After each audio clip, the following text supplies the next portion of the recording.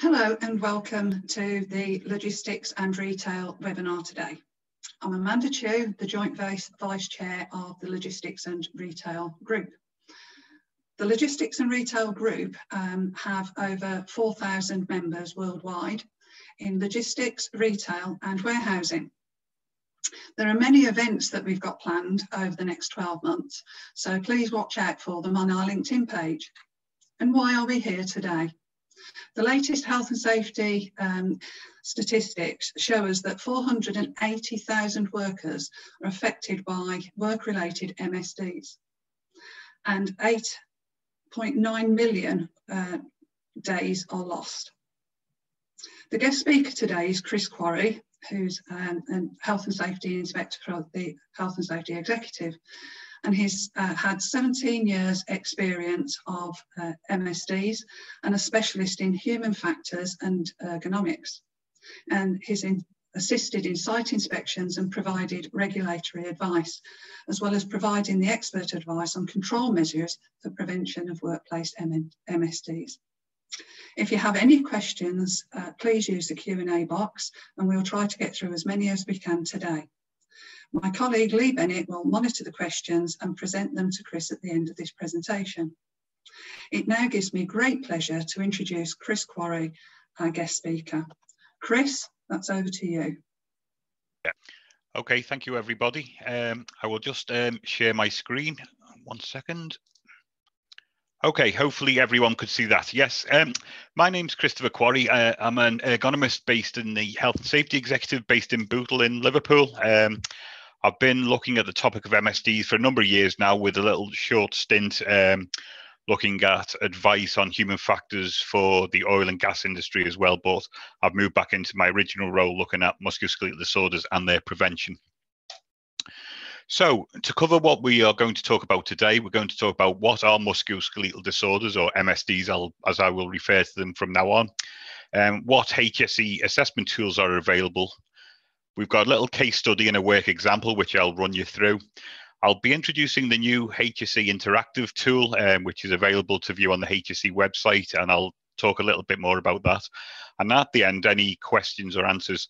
During my presentation as well, we're going to be doing a little poll, but I will introduce that um, when I get to that slide. Um, I apologize now if I'm teaching people to suck eggs because the HSE assessment tools have been available for some time now. So I spoke to Amanda and the rest of the team. We thought, well, if people haven't used them for a while, maybe it's a little refresher. Or for those who've not seen them before, then at least it can give them a good start into how, how to use the assessment tools for musculoskeletal disorders.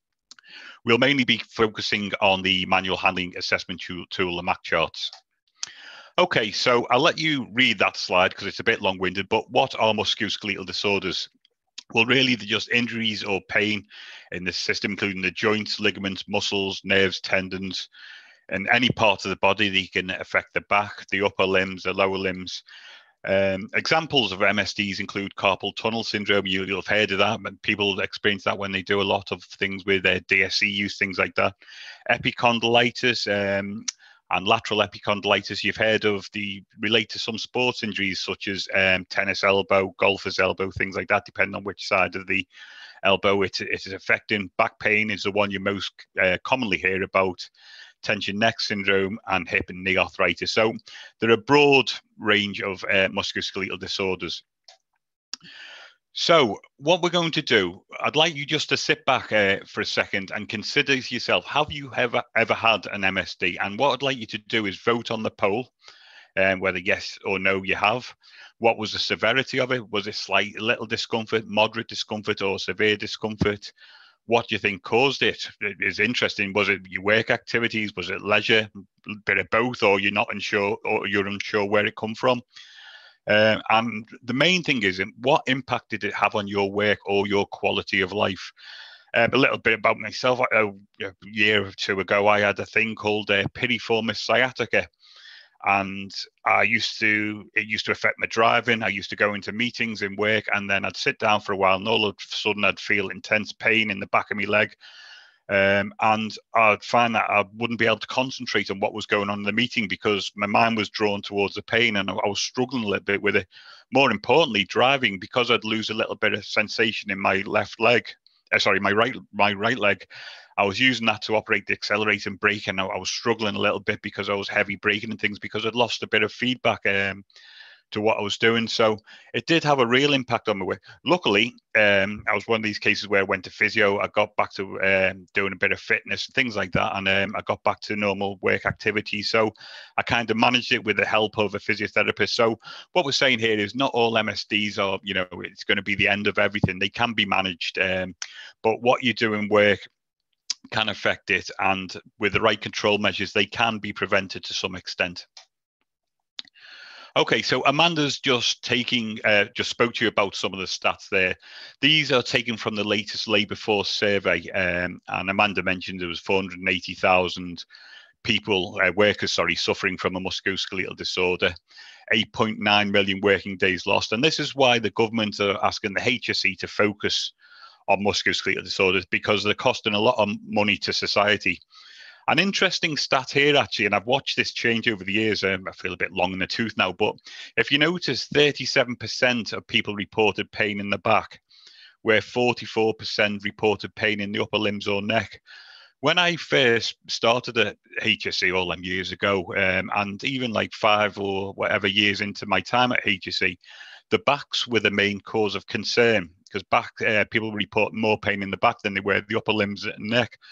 But I've noticed there's been a little bit of a shift in the statistics, and now upper limbs and neck.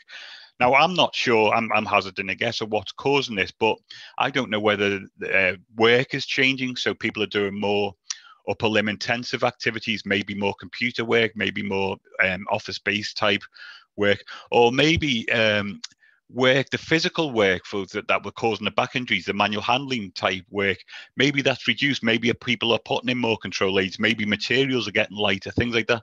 I'm not sure, but it's been an interesting shift over the years that we've got a lot, well, not a lot less, we've got less back, um, people reporting back pain than they have upper limbs or neck. So just something to think about why why, why there's been a shift from that to upper limbs. I probably think there's more sedentary type work, more typing work, more computer based type work, but I don't know. So, what is the approach to musculoskeletal disorder management? Well, really, it's based around the regulations, but we ask duty holders to identify, you know, what are you, what is your hazardous manual ha uh, handling activities or upper limb disorder activities, and that's looking at indicators. So you might get things like people complaints, um, absences, things like that. So what we're saying is, and the regulations say this. My next slide will cover this. Is you need to avoid hazardous tasks as far as reasonably practical. Then the next stage is the ones that you can't avoid. You need to assess. And this is the main crux of what we're going to be talking about today. Once you've done your assessment, you need to prioritize your tasks. So, okay, this one needs, you know, resolving first, putting in control measures here, reducing the hazardous nature nature of the task. Then you need to eliminate or reduce. So, can you provide equipment, lifting aids, change the process, uh, all sorts of handling aids out there. And then you move on to managing um, the residual risk. And this is what comes in with your training, um, safe operating procedures, uh, and things like that. With relation to training, I often visiting visit sites where they tend to rely on training as their manual handling control, um, and that's not the case. What they need, uh, what companies need to do is follow the hierarchy measures that's in the manual handling operation regs and then the training comes in to support all them measures you've taken beforehand. So it's avoid assess reduce and then the training comes in because the training i'm not ruling out training. Training is essential because it stops people lifting and handling stupidly but it can also be used to train in the safe working methods that have been applied and that might even be the use of um, handling aids and things like that I apologize for this slide. I'll give you time to read it, but there's a point um, to it. So basically, manual handling operation regulations, Reg 4 says, as far as reasonably practical, and it's this just follows the previous slide, avoid the need for anyone to take manual handling operations that involve a risk of the being injured. That's always not possible. We know that. We're not stupid. But what we're saying is employers have a duty to make a suitable and sufficient assessment of the manual handling operations that have and have regard to the factors which are specified in column one of schedule one to these regulations and consider the questions that are specified in the corresponding entry in column two. And then the next stage down is take appropriate steps to reduce the risk of injury. Now, what I find on site a lot of times is um, companies do do risk assessments, but they don't um, regard factors which are specified, and I'll come on to the factors in column one and schedule one to the regulations. They are quite generic um, risk assessments, um, often in, um, engage in other just generic assessment types. So for a, an assessment to be suitable and sufficient, it needs to um, have regard to the factors which are specified in um, column one of schedule one and then answer the questions in schedule um, column two of that schedule. So what are these? I think most of you will have heard of the tile approach, or some people call it light approach, and this is Schedule 1 of the Manual Handling Operations Regulations. So really, what they're, they're looking at the task, and does the task involve um, holding or manipulating loads at distance from the trunk, twisting, stooping? Then it looks at the load. Are they heavy, bulky, unwieldy? So what can changes can you make to that? The working environment, you know, are the postural constraints? Um, is a floor surface level? You know, is there a chance of slipping? Um, and then you're looking at the individual itself. So basically, the schedule schedule one follows a tile approach, which I'm hoping most people are familiar with because I remember when I'd done my NEBOSH and things like that, that was a thing which was promoted as part of that. So when you're doing your risk assessment, just consider, and we'll move on to the MAC charts and things like that in a minute, but consider that the risk assessments do need to include the factors that are in Schedule 1 of the um, of the regulations. Right. Okay. Um, here is a bog standard manual handling task. Sit down, have a think. Um, what do you think are the key manual handling risk factors here? It's just really this is just an introduction into getting your mind thinking about the key risk factors for manual handling.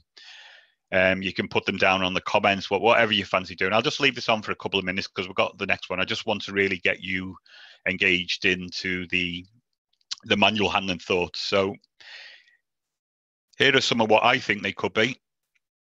So you've got a plastic um, um, bucket there, so it could be an unstable, unstable load, lifting at head height, um, potentially a poor grip. You know, they've not got a good grip on the load. In the environment, it could be a slippery floor, and of course, obviously, it could be a heavy weight. We don't know what the weight is, but that's um, just getting into a feel of what the uh, risk factors could be. We've got a little lady here with blacked out eyes. I'm not too sure why, but um, if you could think about uh, any of the risk factors here, look look at the posture of the lady, look where she's lifting from, um, where she's lifting to. Okay, so we've got potentially a heavy weight. Again, another poor grip on the load. Look at the posture, uh, back bend forwards, twisting slightly potential uneven floor being on a pallet, one foot on, one foot off. And I don't know if you noticed the boxes behind. Maybe she's in a rush to get it done. So you're thinking about the the process rate. So how often is she having to lift and move these? Is she rushed? Uh, rushed? So work that's imposed by a process, in other words, she's got to get that done, job done quick, and really sometimes affect the lifting and the capability of the person doing the task. Okay, here is um, an overview quickly of the MSD assessment tools. On the left-hand side, we've got the RAPP tool, as we call them, the risk assessment for pushing and pulling. So any pushing and pulling activities, roll cages, pallet trucks, things like that, we've got a RAPP tool to cover the risk associated with that. We've got the ART tool for it's called the assessment of repetitive tasks of the upper limb. So people who are doing um, highly intensive upper limb tasks, so they may be working on a conveyor belt, they may be picking, they might be sorting tasks, uh, things like that. Anything which involves uh, repetitive uh, movements of the upper limbs, we've got that. Obviously, the ART tool is not used for DSE work. I mentioned DSE, uh, display screen equipment work before. Um, we've obviously we've got the DSE regulations that cover that. So the ART tool is for anything that involves the repetitive task using the upper limbs. We've got the Mac tool, which we'll be talking about in more depth here. Um, so basically, this is tool. Uh, this is a tool used for your manual handling um, activities. Um, and finally, we've got the Mac and the VMAC, or the VMAC, sorry, I should say. The VMAC is used for items which vary considerably. So they might be use, use a VMAC in places like picking warehouses and things like that, where you might be picking anything from, I don't know, um, um, uh, some butter, small box of butter, all the way up to a TV or something. So distribution warehouses, things like that. Um, the VMAC really, it's quite um, complicated to use. You can find the information on the HSE's website. You have to put in the details of the items handled. And then all that does, that will work out the load weight frequency. And then you use the MAC chart then to you to put in the other um, risk factors. So for instance, hand distance from low back, vertical lift region, things like that. So uh, the VMAC's there to help out people who are handling loads that whose weights di um, differ significantly.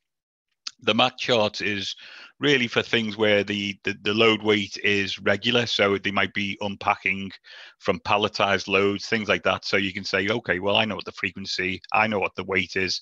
We'll use the MAC tool. So overall, uh, we we invented, we invented, we, we derived the uh, MAC tool. In the first instance, we decided, this is many years ago now, we decided on a traffic light approach would be the best way to highlight the high risk elements of each activity. So we've gone for green being safe, uh, amber being medium risk, red high risk, um, etc. And then we decided, okay, we've got the MAC tool. We can use the same philosophy for the RAPP tool. You'll see this, they have the same format. And then when the ART tool was developed, we've got the same green, amber, red. So this enables you to say, well, okay, we've got a few greens. The hand distance from low back is coming out as a, as a red. What can we do to the workplace design to get that load closer to that person? So you may be able to get that down from a green, uh, from a red into an amber, or possibly into a green. So it helps you highlight which level, uh, which part of the task is causing the highest level of risk. But what we've also done as well, we've included, um, I call it an aid memoir, but there's like a description and a visual descriptor to help you with your assessment process. Some people use, and there's no, no harm in doing this, they use their what we call the manual handling checklist um, for doing the risk assessments. And they do follow the tile approach and they'll have questions about the task and they follow what's in the schedule but it's quite subjective. Um, so, for instance, they say that is a load weight heavy? And is, is it low, medium, or high as a risk identification? Now, that is quite subjective because to someone who is well built and they might say, well, lifting 18 kilograms is fine. I can lift 50, 60 kilograms in the gym, no problem. So it depends on the assessor doing it. So the reason we put in these visual descriptions and the verbal advice as well is trying to get some sort of, uh, to reduce the sub subjectivity and get some consistency in your assessment. So we thought, okay, we'll have a um, an image of the person and holding the load where it is um, away from the body, this, that, and the other. So it'll give you a steer with what the level of risk should be. And we've done that for the Mac tool, we've done that for the RAPP tool, and we've done that for the ART tool. It just, as I say, it reduces subjectivity. So where does the Mac and RAPP um, and the ART tool fit in? Well, you'll have seen in the top right hand side of this screen here, you'll have seen the box filters. Um, these are just the initial filter to help a duty holder decide whether they are whether they require to do a suitable uh, to, to do an assessment. The Mac and RAPP sit in the, sit in the middle somewhere. So, you know, uh, if, are they outside the filter values? Yes, they are. They'll do a MAC tool, or then they can go on and do a full risk assessment. The MAC or the RAPP will more than like more than necessarily do a full risk assessment anyway, depending on the task. But we'll move on to that in, in a bit as well. So you got your filter, you got your Mac, RAPP, or ART tool, and then you got your full assessment. Um, you can go from the filter to the full assessment. It's entirely up to yourselves. So moving on to the Mac tool, I mentioned before they've got uh, different list, lift cat, uh, risk categories. You've got green, low level of risk, amber, medium, high, um, uh, sorry, red high level of risk and purple is a very high level of risk. Um, what you've got in the Mac tool as well, you've got three separate flow charts, one for lifting, one for carrying, and one for team handling. So if you've got a lifting operation where a, a person is stood, just lifting all day might be deboxing, palletizing loads, things like that. Use lifting chart. If they're carrying, you use carrying. And if it's a team handling, you use uh, the team handling chart.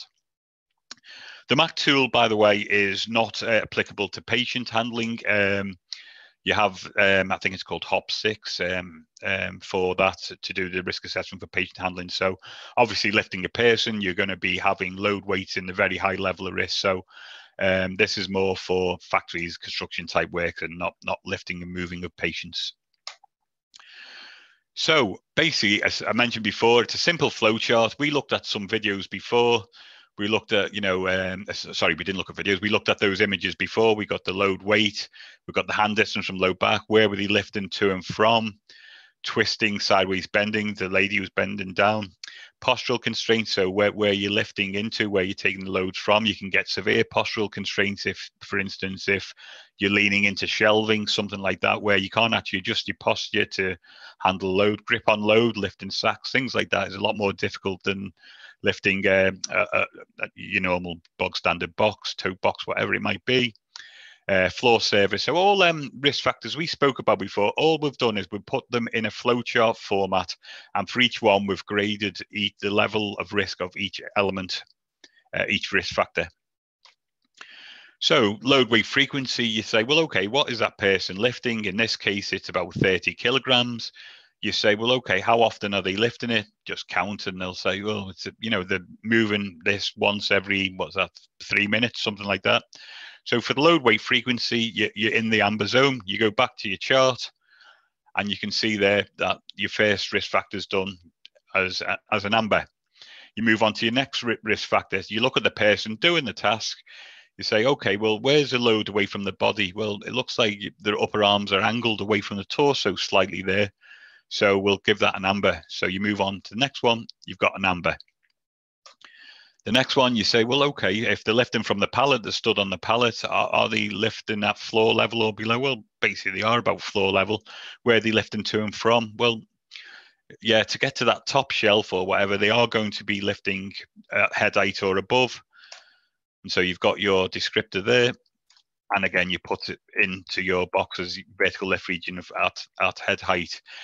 What a, a, top tip I always say is um, always base it on the worst case scenario because if you are um, doing a MAC assessment of someone un- unloading a pallet, at some point the loads are going to be at waist height, but at some point they're going to have to be lifted from from pallet height when they're lifting the lower level of boxes.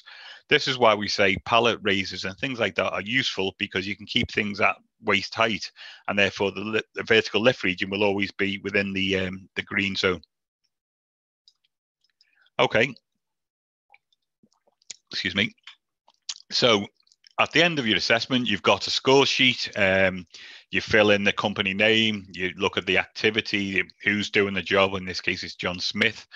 Um, what items are handled, and you do that. If you notice on the top right, it says, "Do I need to do a full risk assessment?"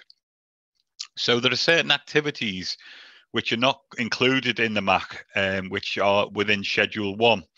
So what we say is if any of those are included, you're probably best doing a full suitable and sufficient risk assessment. It gives you the link to the online checklist there. They're called CK5. So if you just type in CK5 on the HSE website, you'll get them there. Um, so it gives you a steer really of when you need to do a MAC and when you need to do um, a full risk assessment, which is slightly better than what we had in the in the older version of the um, MAC tool. So what you do, you've got your score sheet. I'll fill them in for you here. So basically, you've got you know your load rate frequency. It's a carrying task in this instance. So you've got scores and a red risk um, donation there. So we carry it a red risk factor. It's a score of six. Hand distance from low back. They're obviously loading the whole load close to the body. It's a zero. Is a twist and sideways bending? Yes, there is. That's a three. Blah blah blah. And then you go all the way down to you get to the your final score. So this is where a lot of people get slightly confused with the scoring. What people want is a link between the scoring and risk of injury. And we can't do that. All the scores, the final scores, are there are to prioritize remedial actions. So for example, a score of 10 does not mean, oh, that's low risk. Um, because for the first risk factor, load weight frequency, it, eh, they might be lifting an 80 kilogram load as a one off lift one person. Now, that could seriously injure someone just doing that, even if all the rest of the risk factors are fine. So we can't say, and that would come out with a score of 10. So what we're saying is the scores don't link to injury. The scores are there just for prioritizing your remedial actions. So after this, you may say, I'm going to do a few of these manual handling assessment charts um, in my workforce. So you might get uh, come back with five or six assessments. I don't know. Um, and then you've got one job which is coming out with a score of 20, one with 15, one with a 12, one with 10, blah, blah, blah. So you look at the score of 20, you say, okay, this job's coming out as the highest overall risk. What are the high risk factors within this job? Okay, load weight frequency, that's coming out as high. Is there any way we could reduce the frequency? Is there any way we could reduce the load weight? Vertical lift region, that's coming out as a red. Well, what can we do? Can we introduce pallet raises so we can keep the load at waist height? Is there any way we can reduce the height of the what we're stacking these to reduce the head height? Things like that. So please don't try and link a score directly to a risk of injury. It doesn't work like that. It just helps you prioritize your remedial measures. Right. Okay. I'm going to give you a real life uh, a walkthrough here. It doesn't cover all the risk factors, but I'm just hopefully it'll demonstrate on how quickly you can do these assessments and how easy it is to use. Really, it's this is just a lifting operation. It, I didn't do this job, by the way. It was a job done by a colleague of mine years ago. It's cheese turning. It's called. Um, a little bit about the background. I think, um, with my limited knowledge of the cheese industry, it's something to do with kids and whey this gentleman goes in every morning. He has to turn these casks over. Um, hopefully, you can all see the video. Um, turn these uh, molds over. Sorry, not casks. Turn the molds over, and basically, they let it sink, and it lets the air out of the cheese, I think, and let it breathe or something. And then he, anyway, he goes in every day, and this is his job. He needs to turn it. So I'll let you watch this just for a minute, see what he's done. What is imp- what he's doing? Sorry. What is important to, as mentioned before, about when you're doing your assessment, look at the um, worst case scenario, and you'll notice here there's some stacked low level, and up here, sorry, I'll, when the camera goes back, there's some stacked up um, at head height or above.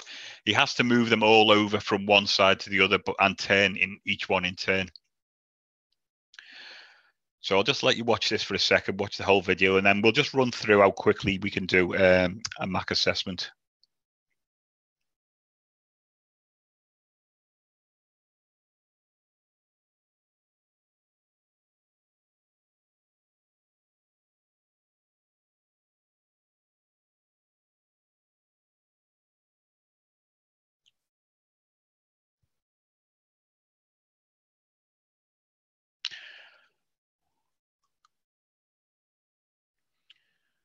Okay, so you've got the um, the load weight of each one of these um, um, containers. I'm not sure actually know what they've actually called. One of these containers is 12 kilograms, and he's lifting approximately one lift every five seconds.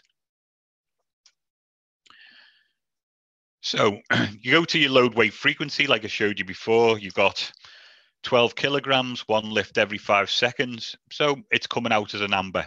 So your first risk factor is done. That's an amber, 12 kilograms, one lift every five seconds. You move to the next one. This is hand distance from low back. Remembering that there's visual descriptors on the MAC chart as well. He's got to reach right into the shelving, quite a bit away from the body while he's grabbing the load and placing into the other side so we'll say, yeah, that's that's probably a probably a red hand distance from low back. It's quite a bit away from the body. He's um, holding it far away. So yeah, we'll give that one a red. The next one is vertical lift region. Well, I mentioned that kind of prompted you on this actually. Um, look at where he's got a lift from. He's got a lift from around just above uh, around knee height really for that bottom level, but he's also got to handle some right at the top, which is at head height and above. So again, you go to your your visual descriptors. You're saying, okay, where's he lifting to and from? Pretty much at head height. Vertical lift region, give it a red. You move on to your next one. Can anyone see it? Oh, sorry. trunk twisting, sideways bending. Well, he's twisting quite a lot, really. Um, he's his feet are held static. One of the issues here is the position of the of the aisles themselves. They're located so that it encourages the person to actually plant his feet, swing from one way to the next, which encourages a trunk twist and sideways bending. Would they be if they were slightly further apart? By the way, there are better solutions, but slightly better apart they would be able, you'll be able to pull a load, pick it up, turn around, walk towards it, and slide it in. But it's actually encouraging him to swing from side to side and encourage this twist, twisting and sideways bending. Next one, you move to your next risk factor, which is postural constraints. Can anyone see any postural constraints there, considering where he's got to lift to and from? We've given that a number. Um, again, in the MAC charts, the, visual, uh, the, the verbal descriptions, they talk about, well, what is a severely risk restricted posture? And that's really where you can't adjust your posture at all. So you might be working, I don't know, in um, luggage holds in planes, in attics, moving rock wall, things like that, where you can't actually stand up. Um, uh, cellars in in pubs and things like that, where you really are restricted. We've given that a number for that one. and then you go through the rest of the risk factors grip on load we've given amber he can clamp it it's not the greatest it's slopping around a little bit within it but it's not the worst because um, he can actually grip onto the load. Floor surface obviously it's um, poor floor surface. He's got the right ppes not much you can do maybe have better drainage. And environmental factors oh, i should have told you that actually but it's a slightly cool environment but again. So there you go we've run through it you've done your assessment um, We've gone through each of the risk factors. You go to the end, you put all your risk factors um, down in your score sheet, you come out with a total score of 20. What did we say about the score? The score doesn't really mean much in terms of risk of injury. What are the um, main risk factors? Um, well, hand distance from low back, vertical lift zone, uh, twisting sideways bending. We mentioned that before and the floor surface. Well, if he's got the right PP on and things like that, they could actually drain it, but it's not too bad. Can anyone think of a potential solution for doing this? Uh, you, you, can either comment or just have something in your mind. We, we, we did talk about how to do it. This video, what I'm going to show you now, is not um, the video of the same premises, but we said, look, this is capable, and this other site, uh, this cheese making site, um, perhaps you could include it into your premises, and they did do on an ongoing basis. So here we go. Please work. Oh, sorry. I think I've got to play this. So look what we've done here.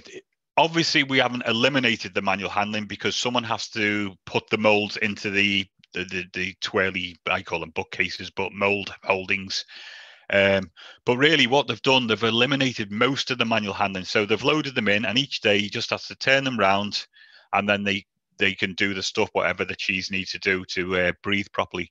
So a simple solution, um, and it's eliminated the need for that person to go in every morning and turn them cheeses. So often the solutions are simple. Um, I just hope that gentleman doesn't get any entrapment type injuries um, when turning the um, when turning them. But obviously, from a manual handling perspective, it's so much better than what you've seen on the other video.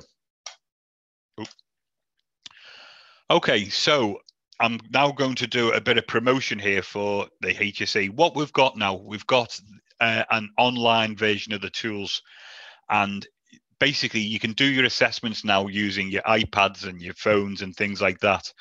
Um, they're all available from the HSE website. Um, I think they're getting launched. and there's a few accessibility issues. Um, I've, I've not been directly involved in this. This is something that my colleagues in Science Directorate have been involved with, with um, our publishers TSO.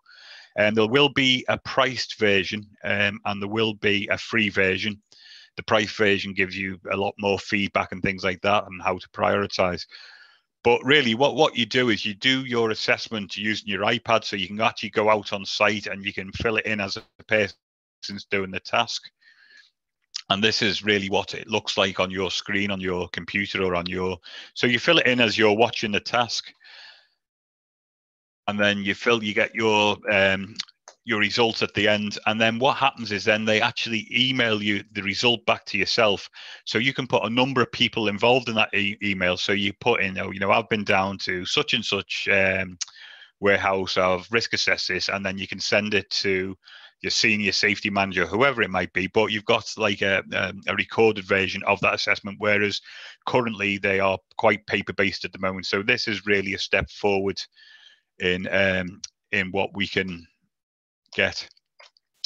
What they can do as well is this is more of the um, the, the, the paid for version is it's suggested priorities for improvement. So it can take a number of assessments. So you might work for a company that uh, a multi-site company, so they can be uploaded, and you might say, well, you know, we're having quite a few issues on this side with this particular job where it's not too bad here. So it gives you more feedback and it actually links into it groups your assessments for you to say this assessment's coming out as a highest risk assessment at this site doing this specific job. So it allows a company wide um, risk control strategy rather than just you doing one with your paperwork or possibly your video camera, whatever it is.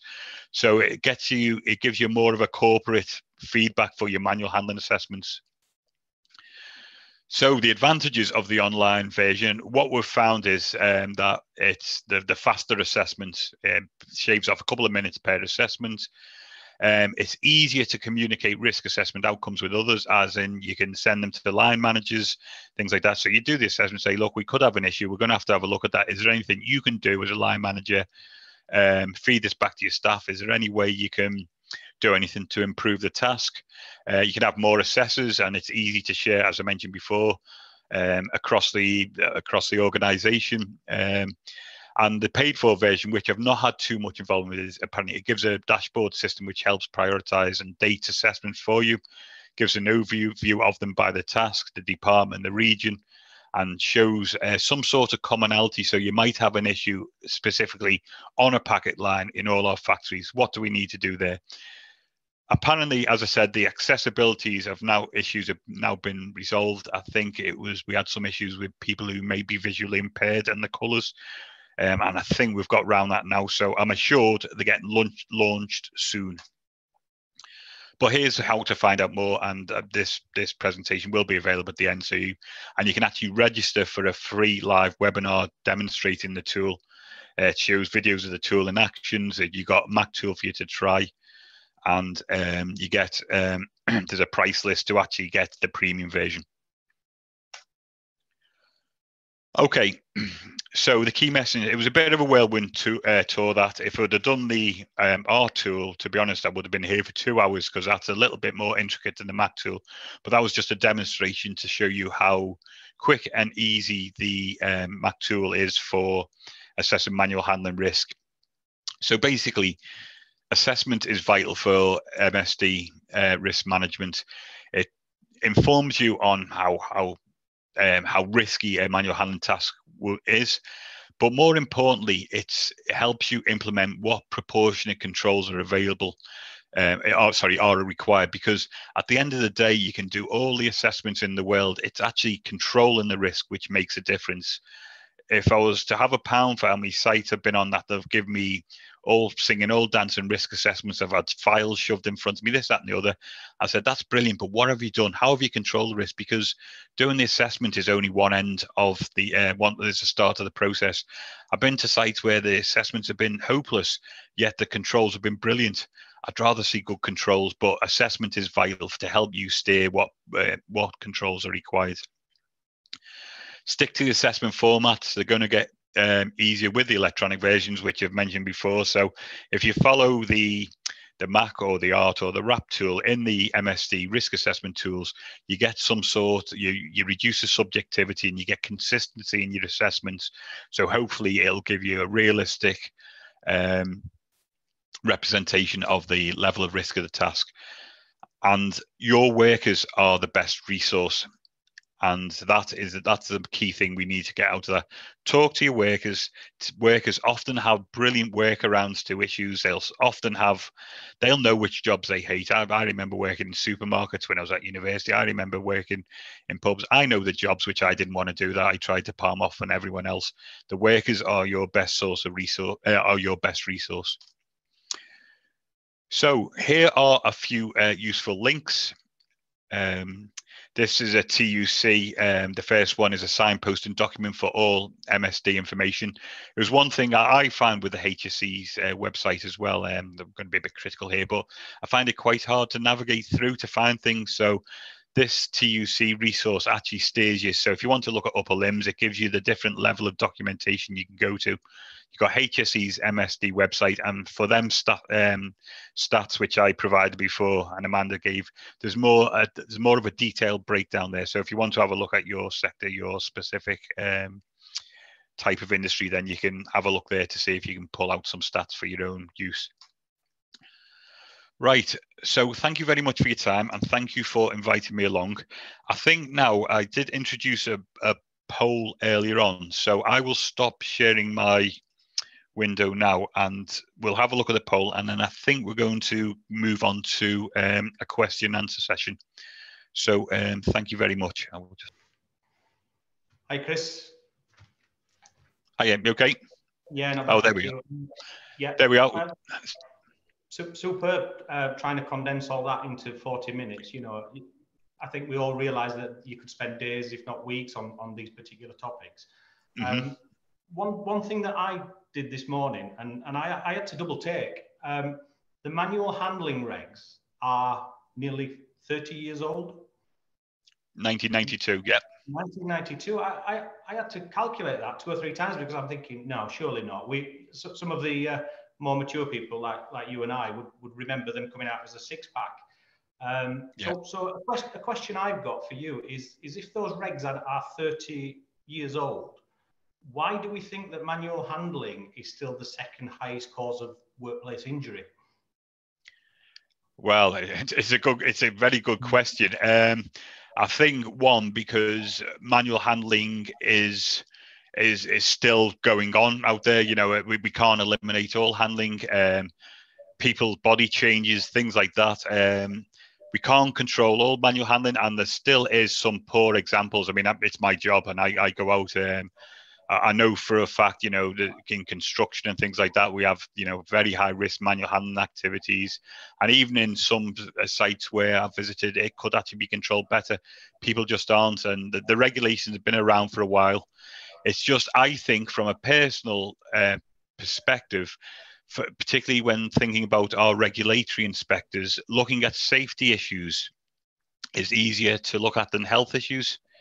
And so, for instance, that you, you can go on a construction site, you can nail down scaffold because you can see is there edge protection is is a not sort of thing. Um, whereas health issues are a little bit more tricky to decide, but there's also there's a cultural change, particularly in construction. There's a lot of you know uh, there's a culture, there's a, a macho culture. Um, I've done a lot of work with dry liners, plasterboard workers, and uh, a lot of the conditions. It, it, if they're not aching at the end of the day, it's they, they, they don't feel as if they've done a hard enough day's work, and it, it's a strange way of looking at it. But there's no long longevity in it they they want to make the money, they want to work as hard as they can, but they don't see well, well what's going to happen when I'm 40, what's going to happen when I'm 50. So th- that could be all coming into play as well. And do you think it could also be a factor that the manual handling aids aren't readily available? So people think, well, you know what, I've only got to move that from here to there, so I'll, I'll just lift it. Yeah, they, they are. There's also still um, a culture in a lot of com- companies I visit saying, well, we've always done it this way. What's the problem? People don't want to moan. People don't want to complain. People just want to get on and do the job. So often they're not actually finding out that there's a specific issue until it's too late sort of thing. Um, so handling aids are available. Um, handling aids are quite expensive if the truth be known and that that, that is you know and you've got to consider the economy and things like that. Um, they are available but there's still a culture of well you know we've been doing this job for 30 40 years this way. What's your problem yeah, yeah, yeah. We've all, we've all encountered that that one. Yeah. Um, another question. Um, when we do a manual handling assessment, we either use uh, TILE or LITE. Yeah. Um, the, the, the individual capabilities. So let's say an organization has 20 employees. Well, individual capability is different for each person. Does that organization yeah. need to do 20 manual handling assessments? Uh, no, no. I think what we would do is if anyone has specific individuals, so maybe they're aware of a, an existing condition or they've had the condition in the past, I would not put them on that that job, so to speak, um, depending on what the job is. Um, I think it, it, it is an element of selection. If, but really, what we need to do is go back to first principles again. You need to go back. You need to say, well, okay, look at this job you know, um, does it need, can it be eliminated in the first instance, the assessment? If at the end of the day you have got to do it, if things cannot be changed, you then go to the selection and don't have person who have had experience back pain, this, that, and the other, whatever it might be, doing that, doing that job. The hard part is being aware of it because people don't like to let people know yeah. But if you, you know, so so again, it's just as I say, I'll, I'll reiterate the points. Like Go back to first principles, reduce as far as reasonably practical. If it's still got to be done, then it's a bit of selection, then it's a bit of a training and things like that. Yeah, and that's uh, another question that sort of came in a little bit later, but is aligned to that. Um, should an employer avoid employing persons with pre-existing health conditions? Sort of. Uh, uh, um, slightly out of my remit, if you don't mind. That that's mm-hmm. um, it's something which really I can't comment. It's um, I forget what regulations that would be, but I, am I'm, mm-hmm. I'm an ergonomist. I, I look at you know control. That, that I couldn't really comment on that. Yeah, but I suppose the, the, the answer would be you, you'd need to see what what kind of work that you're doing in, in that workplace and, and whether or not they would be suitable for that that work. Yeah, I, I wouldn't like to get involved with saying someone is uh, ready for employment or not over if oh, you understand no. what I mean. Me neither. Me neither. um, do, do you feel as though anything is missing from manual handling training, uh, which could reduce the impact on workers? So we've all, I guess most of us have been on manual handling training, and I guess 90% of us have, have been in a room with someone who shows you how to yeah. lift a box up. Uh, and I, I know someone in the chat said, well, that's great, but you know, we lift mattresses up and downstairs. So yeah. is, is there anything that, that you think could be added or anything that, that you feel is missing from manual handling training that could help to reduce the risks? Um, well, what I say, I mean, the, the business like online training or standing in the room, lifting a box, that that sort of training, that's just not not really appropriate at all. There are a number of excellent manual handling training providers around, and they go onto site. They actually see what they're lifting and handling. They work with the people. They they, they apply excellent principles. They show them about how they should be lifting the various items. So, for instance, mattresses, things like that. Um, what I mentioned before about training was is often people resort from we've got um, we've got hazardous manual handling, therefore we need to train them. What they need to do is apply the uh, principles again. How can they reduce that risk? And then the training just then picks up the residual. So, for instance, for the mattresses, if they're carrying mattresses, could they be put on trolleys to stop carrying them? If there's no way they can, they can, by the way, but if there's no way they can, then the training comes in and then they have to be trained in safe lifting techniques for that specific item. Hmm. Yeah, uh, somebody did ask another question saying that spending two hours on a, on a training session learning about the regs is pretty pointless. You need to get out and ensure that you, you're actually training them on the job. So I think that, that was a really good point. Yeah, it, it, does. It needs to be task specific, and it needs to involve. And as I say, there are. I've got one in mind, but there are, are a number of very, very good manual handling trained. As as well, there'll be a number of duff ones. Yeah, yeah. Um, and I guess as the HSE, you're not allowed to recommend any uh, particular training. No, no, no.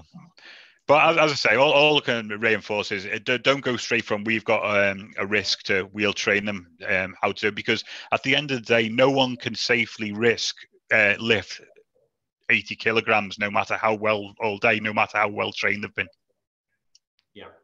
Um, another question came in, which is aligned to, to training. Uh, somebody said they did some job specific training for the client, but then the client said, well, we want a manual handling uh, certificate.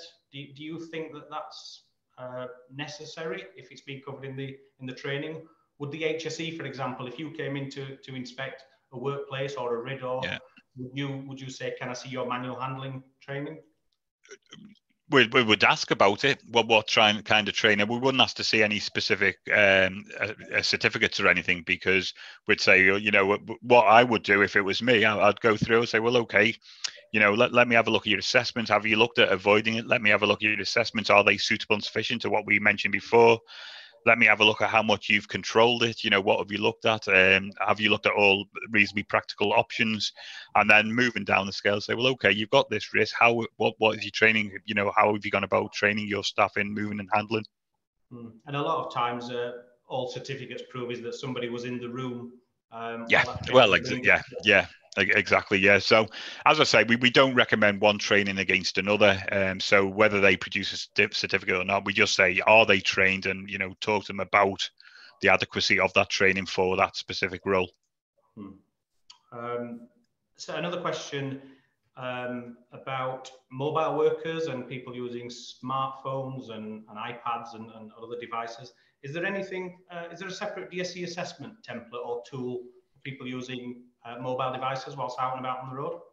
Um, no, but I do know an ex-colleague of mine. Um, so if you, thing you work, it's called Guildford Ergonomics, and it's a colleague called Ed Milnes, and he has produced um, a document which is very good, and you can get it through the Institute of Ergonomics and Human Factors, and it's called Mobile Working.